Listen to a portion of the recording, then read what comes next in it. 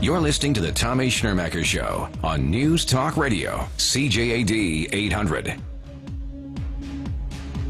Uh, Russian government hackers uh, penetrated the computer network of the Democratic National Committee. They had access to the entire database of research on Donald Trump, and they the hack was so effective they could read all email, they could read all chat traffic. On the line with me to explain some of this, uh, Shawn Tuma, cyber and data security attorney. Good morning.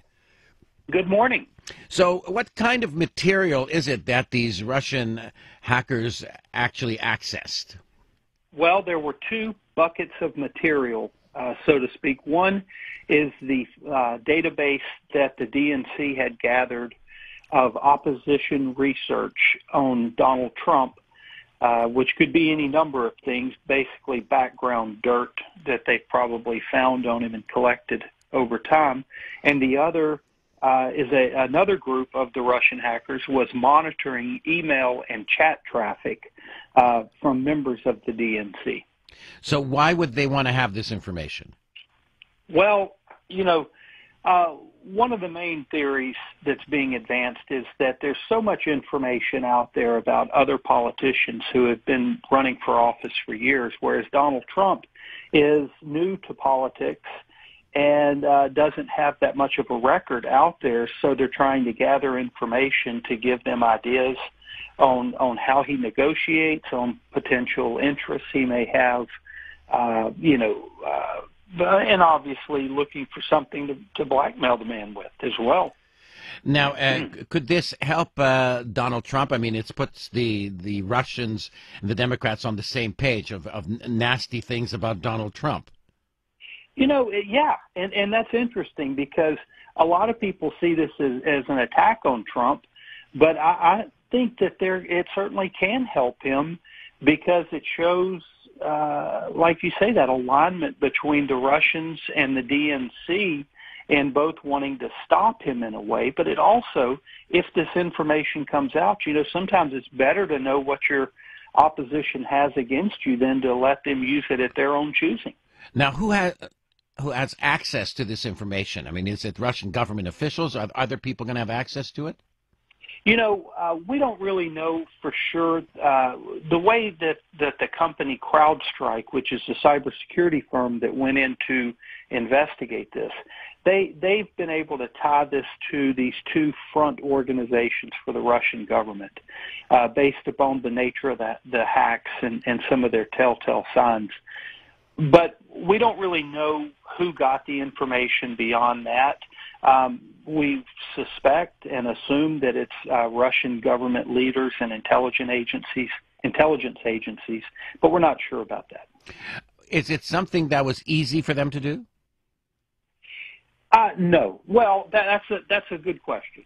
Easy for them, uh, you know, the the attackers who went after the DNC are state sponsored, uh, you know, the very best there are. These aren't your, your criminal gangs just trying to steal some information to go sell it and make a buck.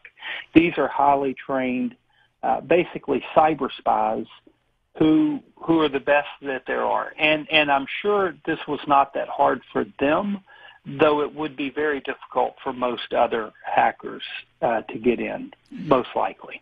Do you think uh, that uh, there's similar attacks against the uh, the Republicans? Oh, sure. Yeah, absolutely. I mean, here's the thing. You know, when you're when you're at high level politics like this, high level national politics, you should should assume from the beginning that you're going to be attacked by either your opponents uh, you know, Republicans getting people to, to try to get information on Democrats or vice versa, or foreign state. Wait, so they hack into each other. The Republicans and Democrats hack into each other's databases. You're saying? Uh, I'm saying you should anticipate right. that. You should anticipate that that people are going to be trying to break in, and so you should then uh, put appropriate defenses in place to prepare for that. But back in the two, 2012 election, uh, foreign governments, Iran, China, and Russia, all had hacked into both Republican and Democratic national committees. Oh, so it, it, this is just ordinary. It happens all the time. It's no big deal, right? Unfortunately, it it does happen all the time, but uh, I would hope people would see this as a big deal and would would establish appropriate safeguards and try to protect against it better. How did we find out about this?